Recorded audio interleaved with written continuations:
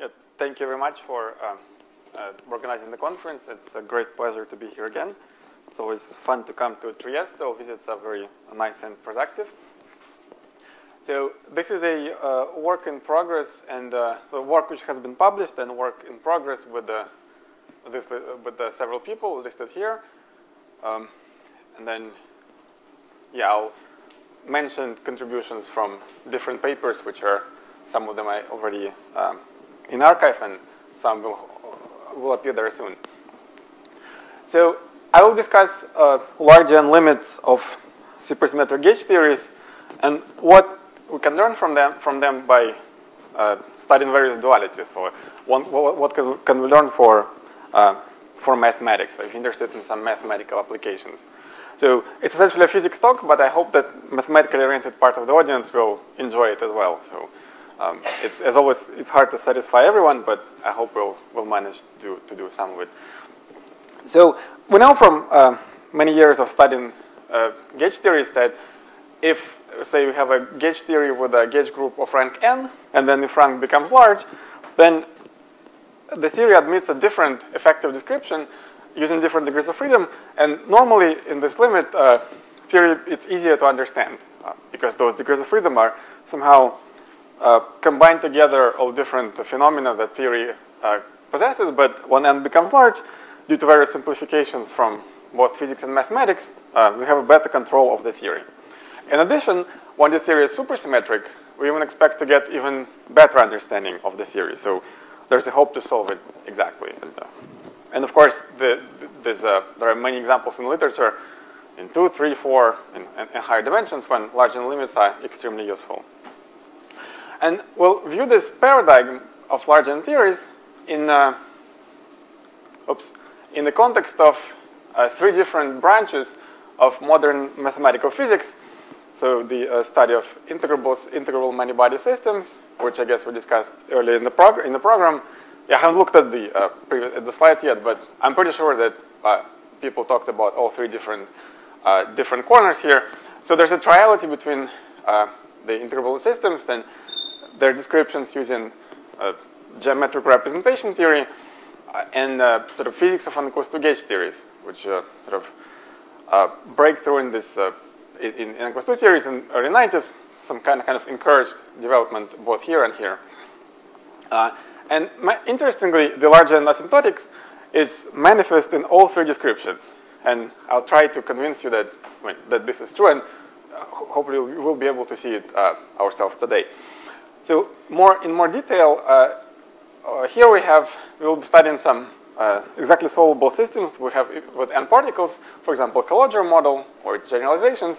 And then in the, when number of particles becomes large, it admits a thermodynamical uh, effective description in terms of hydrodynamics, in terms of velocity fields. Uh, this hydrodynamics is famously integrable and it's called uh, intermediate long wave system. so that, that will be one manifestation. Then uh, on the sort of mathema mathematical side, we'll, we'll look at various algebras and their representations.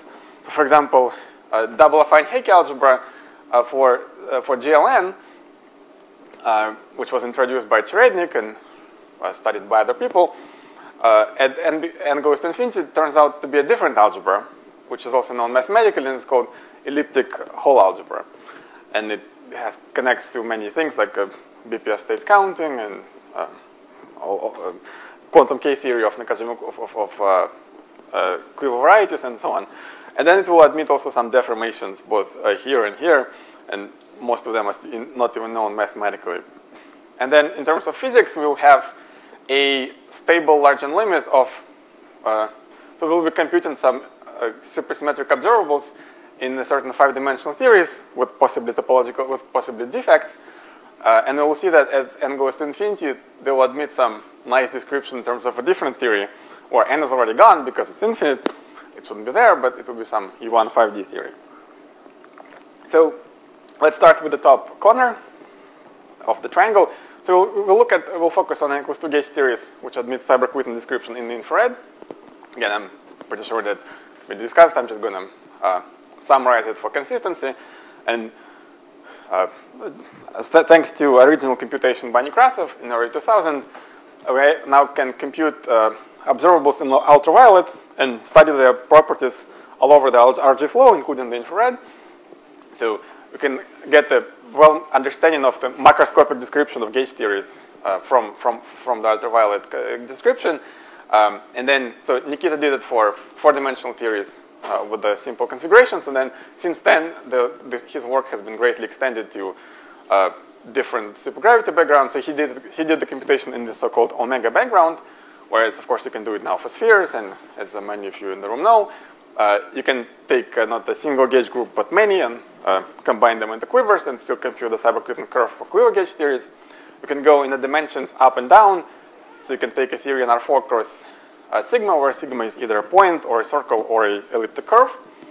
And then you can go to dimension down. So, and my illustration today will, uh, oops, my illustration today will have two examples. The three-dimensional theory on a, a C, so Euclidean three-dimensional theory on a complex plane with parameter omega background parameter epsilon 1 times the circle of radius gamma, and five-dimensional theory on R4 cross the same circle uh, with the two parameters epsilon turned on.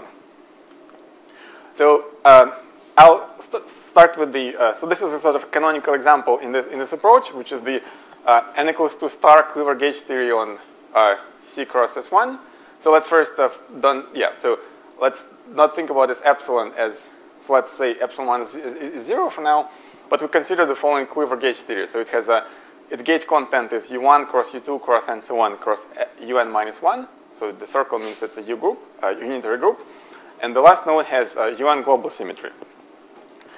Uh, and to star means that it's, uh, it has the same matter content as n equals 4 theory in three dimensions, but the supersymmetry is less because uh, the R symmetry is deformed and the deformation parameter of the R symmetry is controlled by parameter T, uh, which is uh, exponentiated mass parameter over here. So I'm, I'm skipping the uh, dimension, sort of, I'm, I'm, assuming that the radius is scaled to one here. Now, and let's do the, do the simple localization computation with this theory. Now, the Lagrangian depends on several parameters. It will depend on masses of the, uh, masses of this n hypermultiplets, and on the Fayet-Iliopoulos parameters, which are abelian gauge couplings in each of the gauge groups, in each of the gauge group. And let's look at some simple examples. So let's just take n equals to 2. So it's a U1 theory with the two hypermultiplets.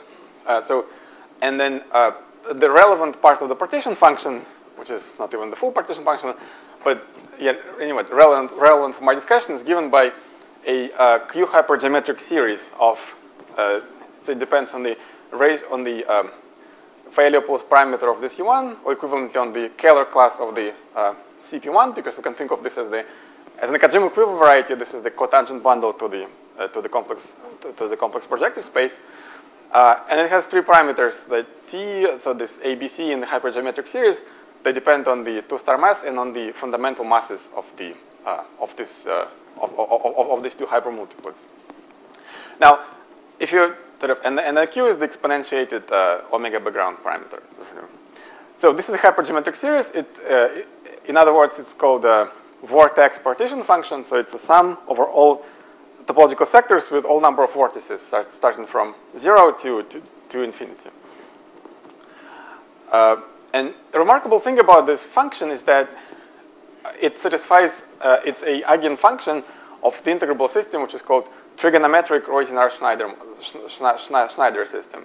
So in other words, if you take the operator, which is a shift operator in uh, Fayet-Iliopoulos parameters, which are parameterized this way, and weighted by some uh, rational functions of t and tau's, or trigonometric function of, uh, well, log tau and, and, and the mass, that's why it's called trigonometric, although you can write it as a rational function, uh, acting on, the, uh, on this b, on the vortex partition function, gives the sum of the masses of the, of the, of the hypermultiplet. So, so in other words, the, the it, this integrable systems, the phase space of this integrable system is the parameter space uh, of the uh, of the of the of the uh, va vacuum va vacuum manifold of this gauge theory in, in, in three dimensions. And this is you can generalize it to more generic, so you can consider more generic quiver for the so for the full uh, what what is called TUN quiver with geometric description is the uh, cotangent bundle to the complete flag variety in, in, in n dimensions. uh, the same formula is true. So you have a family of operators, uh, n of them, so then uh, corresponding to n different Hamiltonians in the integrable system, they act on this vortex partition function or holomorphic block, how some people call it, of the gauge theory, and the eigenvalue is the uh, of the uh, Wilson line of sort of electric, electric line operator uh, in the corresponding representation where the degree k corresponds to the skew symmetric power of, of the fundamental of un.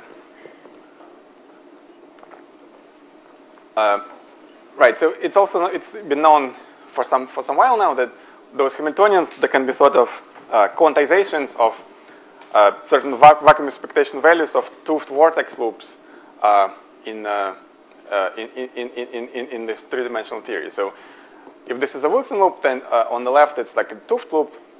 So it's comp composed of magnetic degrees of freedom, and and sort of it's sort of it, this equation shows that there's a conjugation, sort of the if you hit with the sort of magnetic and electric variables are in some sense uh, canonically conjugated to each other. So one of them can be thought of momenta and the other can be thought of coordinates. And uh, there is a very uh, precise way to, to, make, to make this happen.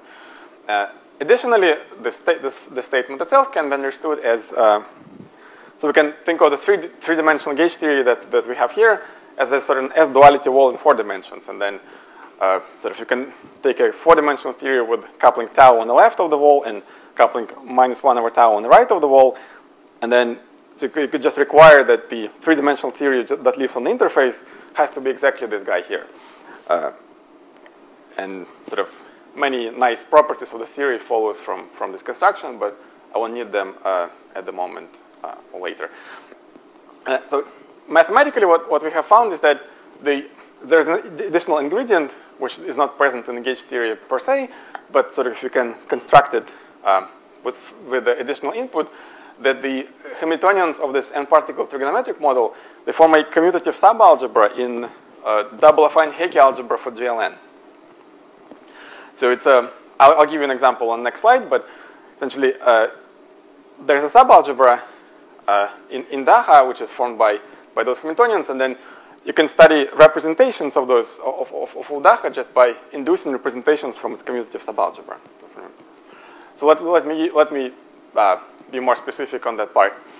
So let's take, uh, consider the n equals 2 star gauge theory on R3 crosses 1 with gauge group UN, which is exactly the four-dimensional lift of that theory. Uh, because we add an extra direction, and you'll see why we need that. Now, the, uh, the moduli space of vacuum of this theory is parameterized by uh, vacuum expectation, expectation values of line operators that wrap the compact circle. And of course, uh, there are several. Um, there is an electric line, there's a magnetic line, and there are various dionic lines, which sort of have both charges turned on. So let's see what, what this is. In, in this case, uh, equivalently, you can understand, think of it as the uh, moduli space of flat GLNC connections. Uh, C means the complex C. Uh, on the torus with, with one puncture, and this puncture has to be simple, meaning that it's a monodromy matrix has only one distinct eigenvalue. And the claim which was made by Alexei uh, Oblomkov is that, at least for rank 1, for, for like for SL2, uh, the deformation quantization of the space in the same sense that I described before, namely that the, if you declare that magnetic variables are canonically conjugated to electric variables with the obvious sort of quantization condition, uh, then uh, the this quantization of this deformation quantization of this moduli space would be spherical double affine Hecke algebra for for the group for the for GLN for for for AN. So let me uh, let me show you the example. Let's do SL2. So just we trace out the uh, GL1 part. Now we have SL2 flat connections. So there are three three generators in the algebra. It's uh, the holonomy around the A cycle, holonomy around the B cycle, and uh, we can either take the holonomy around the puncture, or we can take the uh, holonomy around the A cycle and then B cycle again. So and then holonomy around the puncture will be a linear combination of this uh, combination of these three guys.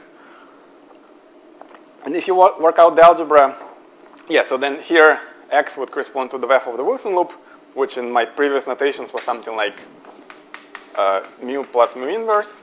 If you say that mu1 is equal to mu and mu2 is equal to mu inverse.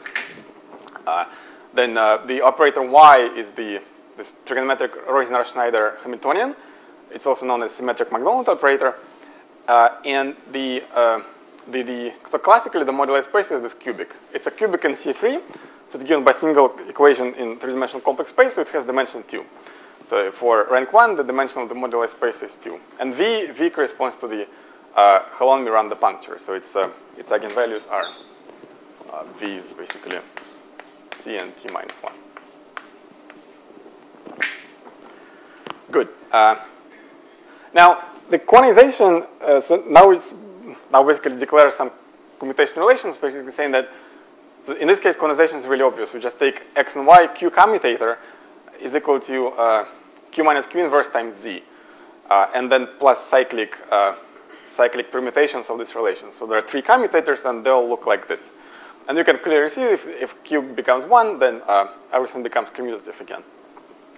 But this is not the full story. The, you need also to specify the Casimir. Well, it's not really Casimir, but in case of Daha, but something that, that is central.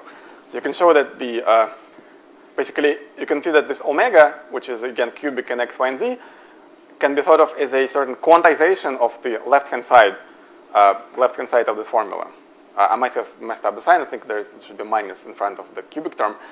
But essentially, you need to put q's in the right powers in the right places, and uh, you get you get the Casimir. And it turns out it's the it's the generic story. And the uh, the, the, Casimir has to satisfy has to satisfy some relation, which I'll uh, connect to later. But uh, it, it, it, it, has to be essentially. Uh, in general, it depends on the eigenvalues of x, y, and z, whatever they are. But then something nice would happen as the, we specify the various Casimir to this on this locus. So this is very nice, but how does it appear physically? So it's in, intuitively you can understand it very, very, very clearly. So uh, again, quantization in physics language corresponds to introducing omega background uh, on the previous slide. So here there was no omega background, it was just R3 cross S1, and we got the moduli space of flat connections. Quantization uh, supposed to take in R2 inside of R3 and then introducing the uh, equivalent, equivalent deformation uh, for this for this R2. So you get R2 epsilon cross R cross S1, and it's it's uh, useful to think about this uh, R2 as the cigar. So there's a tip, uh, and there's S1 action at infinity, which the which rotates the cigar, and Q again is e to the epsilon one. And now we can reduce along the uh, action of the circle. So the cigar becomes a ray. So it's uh, we live in a half-dimensional space. Ignore these b's for a second. So think of it as the kind of infinite line, uh, and then there's a half plane above, and this is the uh, world volume of, the, of, of, our theory.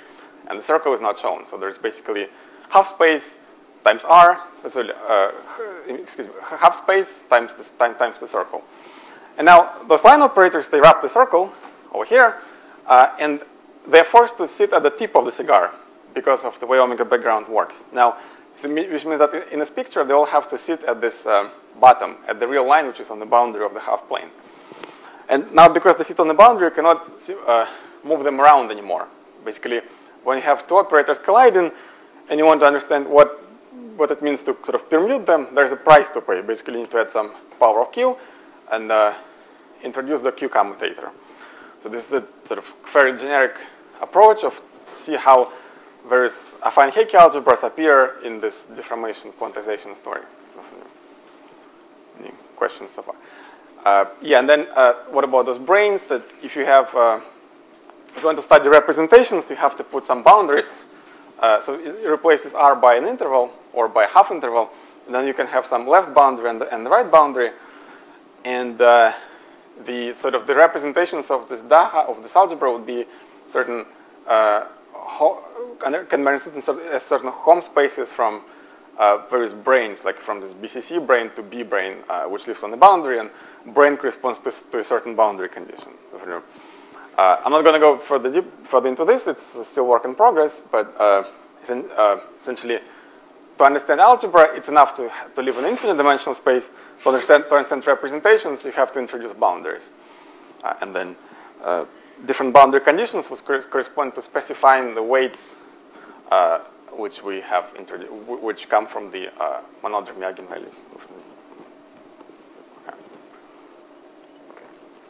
So this is a story about Daha, how it appears.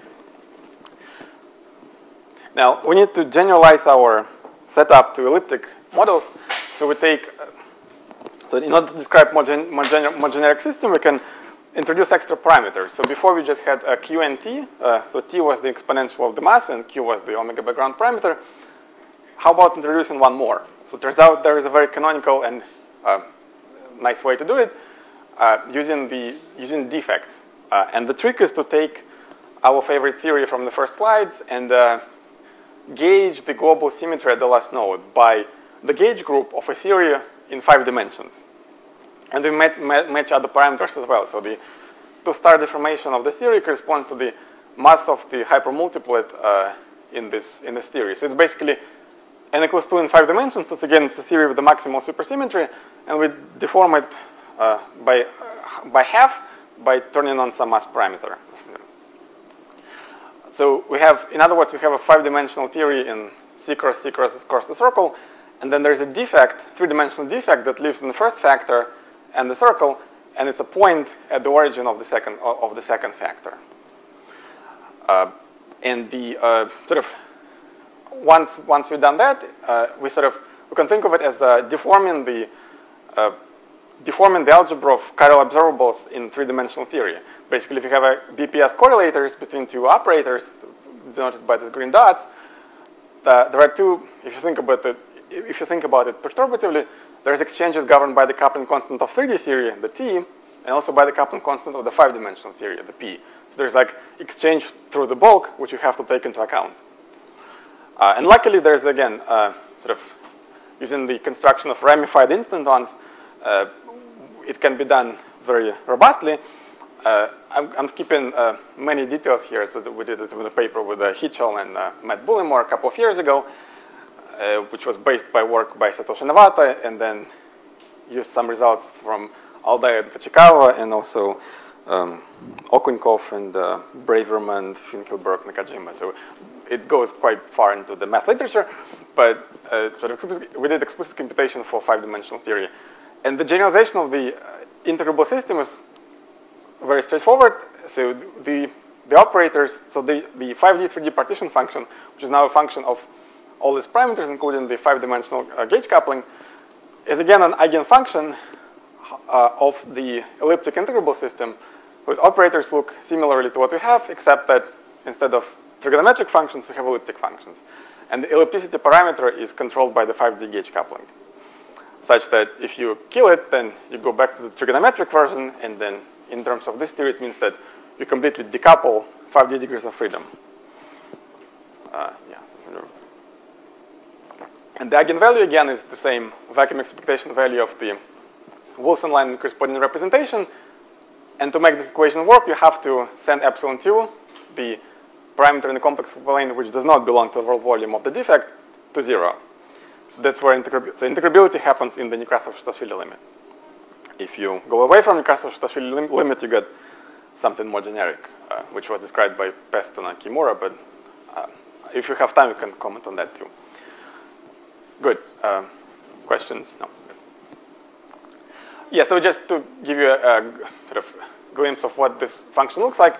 Now, the, the, uh, so when p is zero, we have a single series, so yes, it's a double series in uh, parameters on the defect, or the failure pulse parameters, and in the sort of inverse Kähler parameters, uh, and sort of they're weighted by the gauge coupling of the five-dimensional theory. So you can see that if p goes to zero, we go back to the single hypergeometric series that, that, that, that, that, that we had before. And similarly, the Wilson line, so here, uh, so what stands on the right-hand side, it's again a uh, certain equivariant localization expression. So here we have uh, so the partition function stays on the bottom, it's a normalization. And then to compute the Wilson line, we introduce the fundamental equivariant character, which uh, accounts for the heavy BPS particle that propagates in the circle. And again, its uh, expression is basically the, the, the, the three-dimensional version, the sum of the masses, and then it's multiplied by a p-series, so which sort of count, accounts for instanton corrections from the bulk, from, from, from the bulk description. Okay. Good. Uh, just to summarize what we have discovered so far, the, there's a table of dualities between, uh, yeah, and this model is called the elliptic elliptic Ruijsenaars-Schneider. So the trigonometric, we had trigonometric Ruijsenaars-Schneider and, and, and elliptic Ruijsenaars-Schneider, RS. So in elliptic RS, we have uh, n particles, positions tau with interaction tau, and the Planck constant, which is the shift parameter q, elliptic deformation p, and it's mapped onto the, uh, well, it should be p here. Yeah, I don't know why it didn't show, it was showing it on my slide. Uh, anyhow, so it's a, uh, you can see it here. So the number of particles is mapped to the rank of the gauge group or the flavor group in three dimensions. The uh, Fi terms are mapped to the particle positions, and the mass is mapped to the coupling. Uh, Q is the omega background, and the elliptic parameter is the 5D instanton parameter. And again, eigenvalues and eigenfunctions are given by Wilson loops and the partition functions. Now, I promised you to show something about large n. Now, to understand large n, we basically need to take separately the large n limit of the eigenfunction and large n limit of the eigenvalue and the operator, uh, to be precise. And that, that, has to be done, that, ha that has to be done separately because I thought I convinced you with the Daha story that the, the sort of the, this uh, brane picture with Daha is that algebra and algebra and the Hilbert space they go uh, they can go they go separately. So you need to understand limits uh, in each uh, sort of you need to understand large, large limit for for each of them. So let's start with the states because it's somewhat easier. So let's consider a partition lambda of number k which is less than n. And in this, in this approach, I assume that the p uh, elliptic parameter is turned off. And then I'll just show you the answer when it's turned on. And now let's make a specification of the mass parameters. These guys, or, or as I told you, weights of Daha representations eventually, to the following locus. So it's q to the lambda a, where lambda a are columns of the partition lambda, times t to the n minus a. Okay, and uh, so this will be for this uh, flag, for the flag theory. And interesting thing happens. So, so uh, recall that the so q is the uh, e to the h bar and t to the e to the mass. And then if you remember, if you re uh, remember the expression from the Casimir in Daha, uh, you, can, you can see that the specification of these masses so would somewhat remind you the expression which you had for omega there. So in fact, it's exactly the same sort of locus where representations of double affine algebra, which are in general infinite dimensional, they truncate. Uh, and then so you can try to classify them. What are the all possible conditions of truncation? So it's again, it's a nice uh, geometric representation theory story. But anyhow, so just to uh, we don't need it at the slide.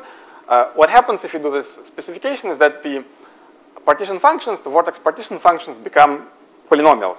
And not just any polynomials, they become Macdonald polynomials. Because it's not surprising because the operators are Macdonald operators and just looking at uh, eigenfunctions within different Hilbert spaces with different boundary conditions. So if it's a polynomial function, uh, then it has to be a Macdonald polynomial. For the uh, partition lambda. So let's take an example of k is equal to 2. So there are two choices. Uh, we can have a column, a row, and we have a column. Uh, the exact form, of course, depends on n. So for example, for, for the column, we have a degree 2 polynomial, which is symmetric in tau 1 and tau 2, and it depends at q and t as a rational um, as, as, uh, as a rational function. Of course, when it explicitly depends on n, it's not uh, it's hard to send n to infinity because you have to compute any case, any n sort of setup uh, by hand. Uh, so let's do something something more sort of appropriate in this case. So, and turns out that turns out that we can make a change of variables. Uh, we can sort of give up symmetry of the polynomials, sort of, then the SN, XN group action is not manifest, but instead it, it will be easier to take the large, large n limit. So let's take the uh, this change of variables, p sub m. I hope you want uh, sort of, the, the, the, there's a p in the elliptic coupling parameter. We're not gonna, these, these are different p's. Uh, we have this monomial change of variables from, so there's from 1 to n. Uh, and then the, in, in, this, in this formulation, in terms of p's, the uh, the shape of Macdonald polynomials only depends on the partition and does not depend on the on n on the number of on, on the on the degree in the previous slide. So you have this one for the for the row and this one for the column. And since it's true, it's uh, more or less straightforward to construct a space of states uh, in our uh, system. Uh, so we start with some Fock vacuum over here. And then we hit it with creation operators. And creation operators will be built by p lambdas. So we have a tableau lambda with the columns from 1 to L. Then you just act with a string of corresponding creation operators on the vacuum to create a state. Uh, and uh, because we can sort of, we can construct a Macdonald polynomial of arbitrary degree by sort of truncating uh, the weights at uh, arbitrary higher position, then sort of we will be able to sort of we'll, we'll sweep out the full, uh, the full Hilbert space of states. And you can work out the algebra that from the orthogonality of Macdonald polynomials, these operators has to commute uh, as, su as, as, such. So the, it's the deformed Heisenberg algebra, which has two parameters, q and t, in the right-hand side. Um, and then the relationship is more, more involved if you turn on the elliptic parameter p. Good. So in, I just summarized what I said. So in sense, the vortex series, which is which comes from 3D uh, gauge theory, uh, it, it, encodes all the states uh, in this in, in, in this Hilbert space. Of course, if you have 5D theory, then you have to like you basically do the same, but then uh, there will be series instead of polynomials. And but uh, I'm going to skip it out over here. Question? No. no. Right. Uh, now the, to understand eigenvalues, we use uh, we can employ the um, free Boson realization of this integrable system, which was sort of developed by Ding Har, and then there, was some follow-up papers. So we basically we introduced two currents. Uh, one of them is the uh, so we should call eta, which is the normal order ordered product of this exponential. You can also write it as a p exponential, as in uh, uh Eric's talk. And then there's another current phi, uh, which has a different, different function here. And then we have n variables, then we just uh, sort of package these phi's together. Now, uh, and then, so we create a state, which is just the action of this phi n onto the, onto the Fock vacuum. And turns out that the state is an eigen, eigenfunction of two operators at the same time. The, uh, the operator, which is the first coefficient in, coefficient in front of uh, z to the first power in this current. So you, after you expand it, do the normal ordering, you'll get some operator. You can see that its eigenvalue is the same as for the Macdonald operator with the corresponding uh, data weighted by this rational function and plus t to the minus n. And now, assuming that uh, the t is inside the unit circle, then uh, you, you, can take the large n limit here, so the first factor disappears, and then we get a nice stable limit out of the uh, out of the out of the remaining piece. Uh, so uh, later I'll show you what exactly this expression is, but the claim is that the limit exists and it's finite, and you can compute it for any uh, for, for, any values of parameters. Uh, in the elliptic case, you need to modify the currents a little bit. So I'm, I'm showing you only eta part. Basically, you need to take this operator and then, sorry, take this exponential and multi multiply it by another one, which depends on p. And again, you do the same game. You take the normal order product. The phi is even more complicated. I'm not showing it on the slide. After you have done the same, you can take the large n limit to get, yeah, so then uh, the expression will be replaced by more complicated function uh, involving p parameters. Uh, and again, uh, the, this is the stable this is the stable limit.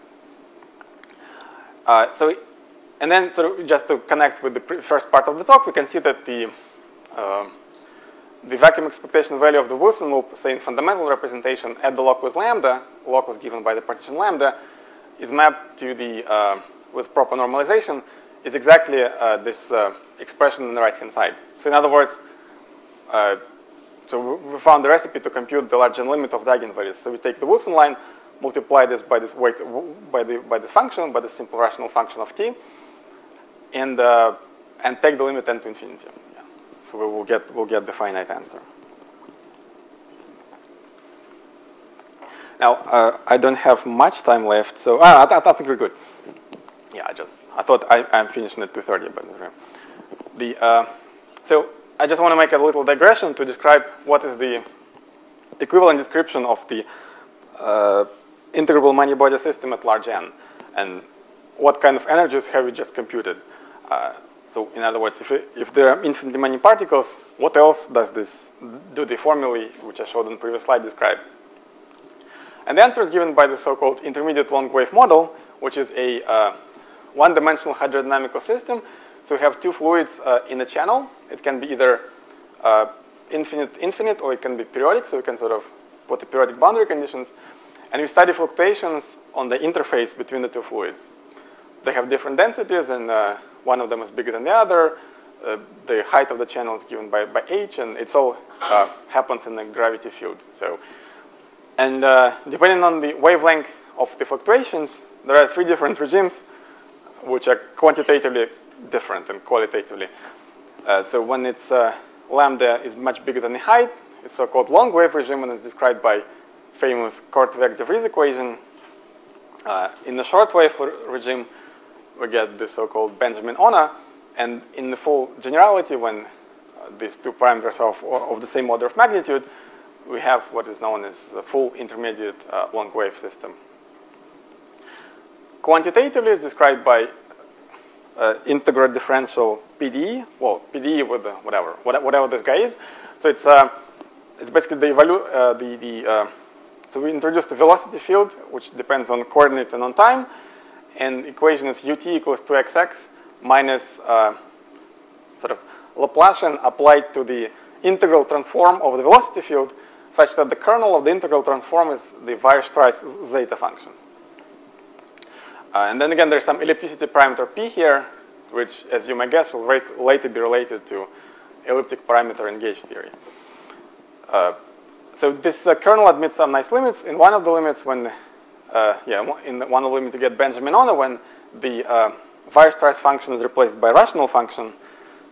Uh, so there's a re representation when you have an infinite sum of when the denominators are shifted, and in this limit only one piece remains. And in the KdV limit, you get some derivative of the delta function. So, and because of the delta function, actually, it can do the integral. And that's how you can get uh, uxxx in the right-hand side. And it's a good exercise to show it explicitly. But what's interesting about this, this system is that it's integrable for in, even in the most generic case. So if you have, if you declare the Poisson commutation relations for equal time velocity fields as the derivative of the delta function, then you can then you can rewrite the um, oops, we can rewrite the LW equation as the evolution equation, where I2 is the is the Hamiltonian, which in this representation is a very non-local operator. So it's integral of the integral transform of the function itself. So it's genuinely, genuinely non-local. But nevertheless, so I2 is non-local and all higher, higher Hamiltonians also non-local, and they all, they all commute with each other. With each other. They all in, in, in involution. You know. uh, turns out that we don't need the whole story. Uh, we don't need the full spectrum of ILW. Rather, we only need it. Uh, we only look at the solitons that, that propagate on the interface. So we'll be looking at the solitonic spectrum. Uh, now, one can impose the this ansatz, which is very restrictive. So we have, if the velocity field factorizes as such, so it's like, it's a sum over from 1 to n uh, of rational function which, ha which has a pole, uh, and position of the pole is time dependent. So, so basically there are n particles which, descri which describe centers of those solitons, and they move around, uh, move around in the fluid. And then you can take this ansatz, plug it into the equation, the ILW equation, and see that the consistency, consistency condition for this ansatz to go through is described by the equations of motion for, uh, in this case, for in the Benjamin-Ono case, by Calogero-Moser model. So the, this is basically F equals ma equation for, uh, for, this, for particles in this model. So it's the acceleration of the particle uh, given by the force, which is the basically nabla, nabla v, but the potential is uh, inversely quadratic, uh, depends on 1 over a minus a squared. So the poles describe propagation of solitons. Uh, so if you take, now we need to take a generalization. Instead of taking the ILW model itself, we take a difference ILW. And difference ILW correspond to promoting Laplace operators to difference Laplace operators. So this difference operator will sort of enable us to describe the elliptic model that elliptic gauge theory, uh, sorry, elliptic integrable system that we have started with. So if you instead of ILW consider difference LW, or difference Benjamin-Ono, you're going to get relativistic models. Like for difference ILW, you get relativistic Calogero or trigonometric RS model. Uh, for difference LW, you're going to get elliptic RS model if you do the same procedure. Uh, and you can basically pick any model. You can pick your favorite integrable system and there will be th thermodynamical limit, this hydrodynamical limit of this model. In other words, there is a duality, uh, so you can start with either hydrodynamics and look at solitons, and you'll discover some n-body integrable system, or you can start with integrable system and then send n to infinity to get a, to get a thermodynamical limit. So large analytic algebra will give you, give you intermediate long wave system, uh, and elliptic RS model, which comes from five-dimensional theory, uh, n equals one star five-dimensional theory, it will become finite difference ILW model. Oops. Okay. So that was the uh, large N description, the uh, story in the lower left corner uh, of, of, of, the first slide. So now, now, now let's, we need to understand what happens in the top, uh, in the top corner. What is the effective gauge theory description uh, of UN theory? So we can get some, we can get some insight from M theory and from topological, topological strings, from geometric transitions. So let's start with uh, M theory on the circle cross CQ cross CT cross T star of S3. So this is a deformed conifold uh, with a deformation parameter related to the area of S3. Then the, um, so in Q and T are the same Q and T that we had in gauge theory setup. Now, and we put n M5 branes uh, on, on the circle cross CQ cross the base of this, of this fiber. Now again, so uh, if you, uh, the compact manifold again here is needed to describe the transition. To understand some properties of the large n limit, as I showed you, you don't need compact manifold. You just can basically replace it by R3. But to get to get the full story, you have to compactify part of those things. Anyhow, so the as we know, the NM5 branes will give some give rise to some gauge theory in the low, low energy description with rank n. Now let's send n to infinity and see what happens.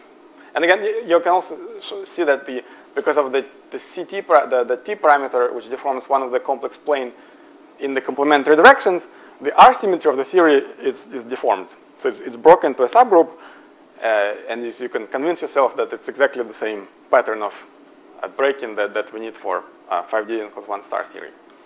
Now, as n goes to infinity, we go through the Gopakumar-Vafa large n transition, and the M theory on uh, this setup with branes, sorry, with M, M5 brane, with, with, branes becomes M theory on a different uh, background, essentially the same five-dimensional space times uh, resolved conifold, which, which you call Y, and there are no branes, so N, N is gone.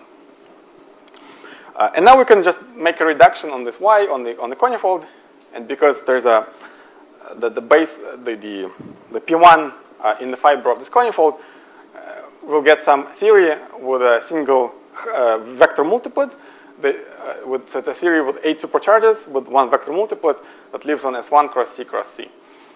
So you're going to have some five-dimensional theory with, uh, with, with, eight, eight, eight, supercharges. And what we're going to do, we're going to count uh, instantons uh, in this theory. In other words, yeah. So there's, a, there's an equivalent description uh, within perturbative string theory, which makes some formulae, uh, which I showed you before, very sort of, uh, sort of, which emphasizes the role of some formulae, uh, including the formula for the Casimir.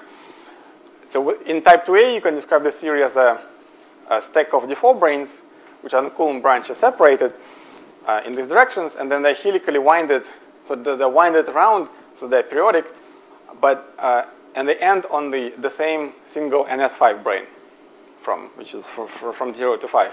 And the endpoints of these d4 branes, they are shifted by, uh, by the mass parameter of the two-star theory. So once, the, once this is gone, you get the maximal supersymmetric theory because NS5 can be decoupled, but not, not, not in this case. And once the mass parameter is arbitrary, nothing fancy happens. You just have a Coulomb branch of this theory, which you can study, which is known manifold. But um, let's see what happens as we, again, take the values of the masses in a special way. Uh, so it's sometimes called Higgs branch locus, or it goes with different names, but essentially it's the same specialization that we did for Macdonald polynomials and the same specialization that we did for DAHA Casimir. Uh, and then again, so you can show that uh, this uh, written proper variables, it coincides with the quantization condition for uh, Gopakumar-Vafa transition. So there should be a certain relation in terms of string coupling between uh, area of S3 and the radius of P1, right? Uh, and this is exactly what, what, what, what, what, you, what, what you need to have. So, and sort of for large N transition, what the transition would move you from this picture to, to this kind of picture. Uh, and this is what happens. The, all these guys combine together, so they rejoin, and the, uh, the, the D4 branes, essentially this brane connects to this half brane, so this brane connects to this brane here, and then so on and so forth. And we have a single helical D4 brane, uh, which winds around all the way from top to bottom. And then once we do that, we can sort of turn on the, can go into the Higgs branch by uh, changing the uh, radius of the P1, which in, which in this sort of notation corresponds to the length of those D2 branes. And additionally, there are two types of D2 branes. So there is a brane, uh, there's a D2 brane which is orthogonal to the D4 brane and ends on the D5 brane. And there's also what is called D2 prime brane, which is embedded inside D4, such that the sort of brane charge is conserved. And then you need to carefully count how many branes uh, each sort are connected. But basically, there's a junction of the two branes and total charge should be zero if you count branes and anti-branes uh, in a proper way. Okay, so this is it, and the delta is the angle, basically it's angle where the spiral winds, right? And uh, basically, oops, it's given by the tangent of delta is given by the ratio of the basically 5D gauge coupling or 1 over the radius with the mass parameter. And always do large n limit. Uh, it's kind of hard to, again, we have to do some tricks. So instead of sending number of branes, sort of, instead of extending this picture to infinity like that, we can introduce a scaling such that the height of this spiral does not change, but the density of winding changes. And as you do so, the, uh, the branes here and here, they'll be sort of come closer and closer to each other. And in the infinite, infinite n limit, the whole picture will collapse. And then all these D2 prime branes will be coincident. And not coincidentally, the, the, the, the, total charge of those D2 prime branes is zero. Because sort of they're formed by branes and antibranes in the uh, neighboring, in the neighboring D4 branes. There's no total brane charge over here. So once we do that, the NS5 brane decouples and it, it can leave the picture. And so you just have D2 branes submerged inside D4 branes. Uh, well, there's uh, some complementary directions, but you can idealize them away because they're periodic. And in the, in the end, you're going to arrive to the, the same setup, which is the sort of modified ADHM data because there's some periodic directions for single U1, uh, for the U1 instant, for uh, U1 instantons, and the number of instant, the, the topological sector corresponds to the number of the two branes which we have there. And again, so you see those, we have those lambdas.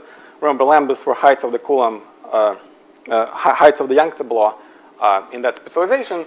And the size of that partition determines the topological sector. So we're going to get exactly KD2 branes inside the world volume of the sixth brane, which is the ADHM.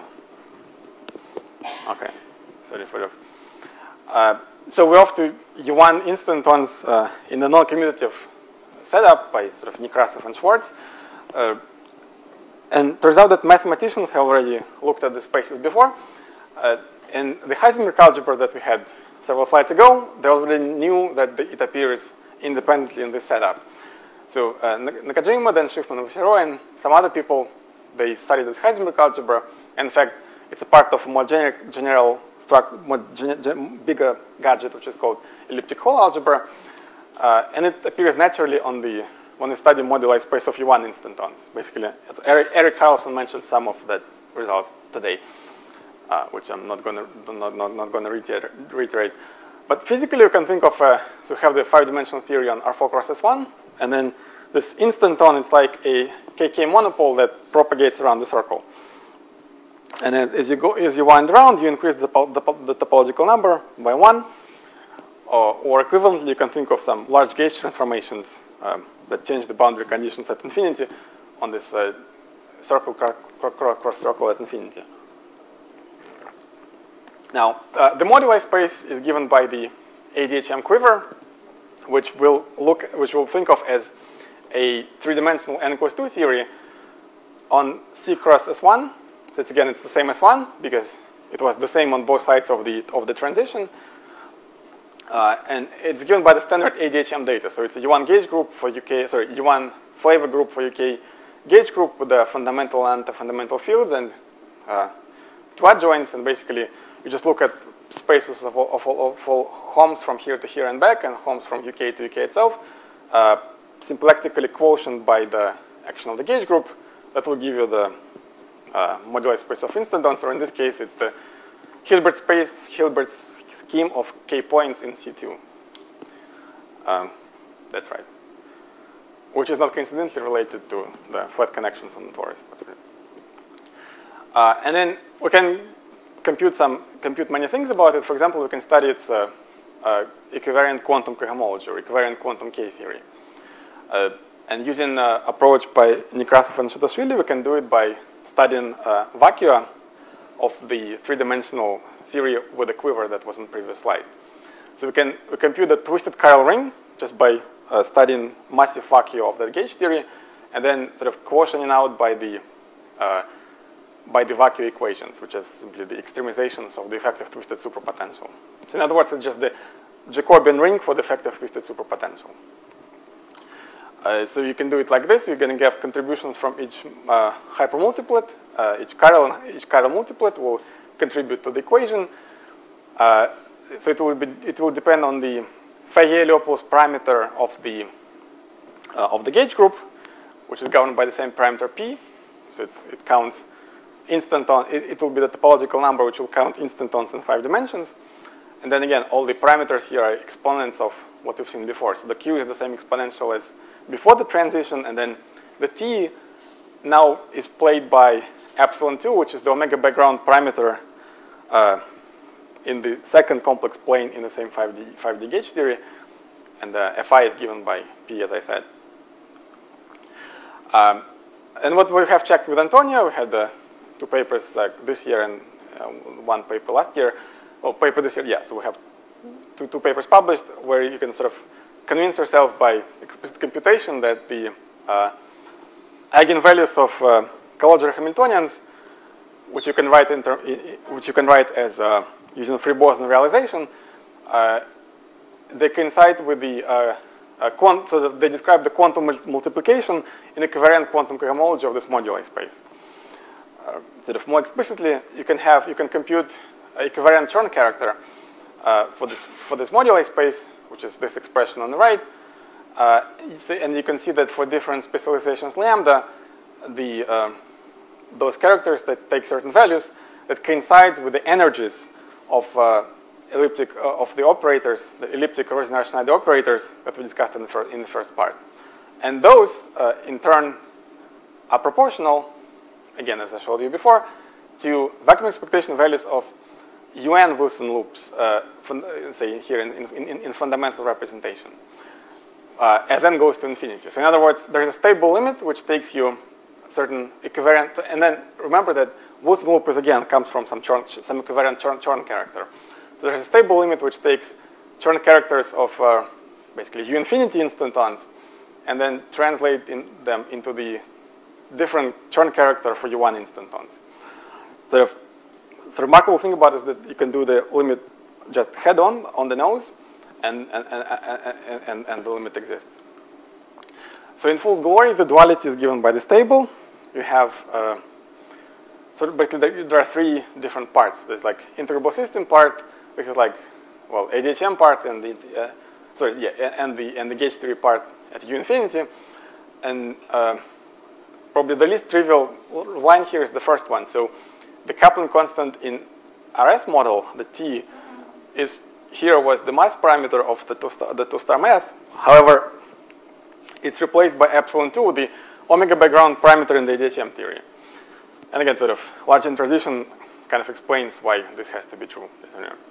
Yeah, the epsilon, role of epsilon 1 stays the same, and then elliptic parameter counts instantons both in U infinity theory and U1 theory. And again, eigenstates are mapped straightforwardly according to the rules that, that, that, that, that we had before. Right, so before I end, I want to throw up some mathematical conjectures, which some mathematicians in the room may like, if they're still here. Uh, So uh, yeah, like I said, the elliptic algebra is the large, large n limit of spherical DAHA. Uh, it's a recent paper by Schiffmann and Vasserot.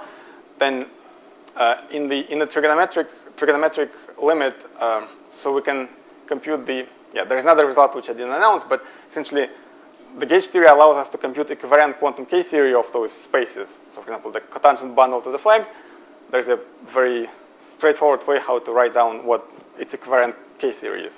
And if it's a classical K theory, then, I'm sorry, the, here it's a quantum K theory of the flag, of the star flag, and turns out that the stable limit of this ring, of, the, of this object, is classical K theory of the moduli space of all instantons. So essentially, you take the direct sum of all topological sectors, uh, and yeah, we get we get this uh, we get this invariant object. And in, in, full story, you need to replace it by well, this this this, this uh, ring is replaced by something infinite dimensional. So essentially, we need to add this q or p, some associative algebra, which uh, depends on the p on the elliptic parameter, and we need to mod out by the uh, integrals of motion of the elliptic RS system. So it's, again, uh, sort of straightforward generalization of, the, of this ring, and large, large n limit of this guy gives, uh, gives, gives the, the uh, full quantum covariant K theory of the instanton moduli space. I'm sure there are more sort of useful ways to make this, these conjectures, but I just sort of trying to emphasize that studying large, large n limit turns out to be a very powerful thing to do yeah, there are some open questions. Uh, it's like if we can should be able to generalize it to elliptic homology uh, of the same spaces, or maybe K theory of some infinite dimensional spaces. There's a relationship of what I said to knot homology, which I believe was addressed to in uh, Alexei Alexei's talk. And again, you can still kill, you can still uh, keep adding further uh, gradings in homology. So right now people talk about quadruply graded homology. Can you add, can you have say one more parameter which corresponds to this elliptic deformation that, that I had, will we be able to compute uh, something more generic than uh, quadruply graded homology? Uh, then instead of 5D theories, we should be able to take 6D theory uh, at large n, and should be described by some holographic construction which people studied in M theory.